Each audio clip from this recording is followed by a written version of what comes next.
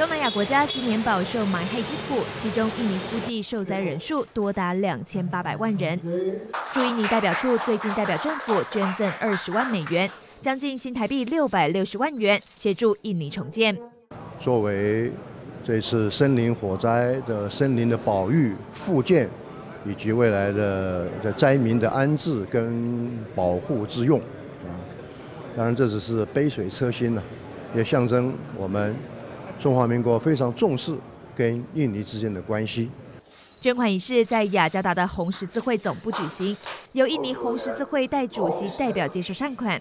印尼副总统出席见证，他表示，从过去南亚海啸、地震重创印尼，一直到现在，来自台湾的援助从没缺席。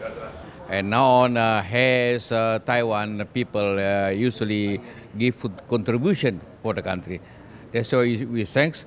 Then we usually remember what they donated for all disaster in Indonesia.